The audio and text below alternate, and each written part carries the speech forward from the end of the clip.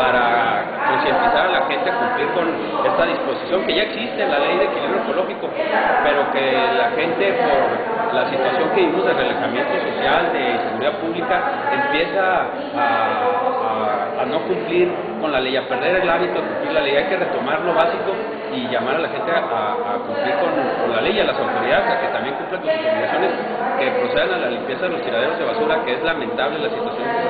¿Qué tan grave es este problema?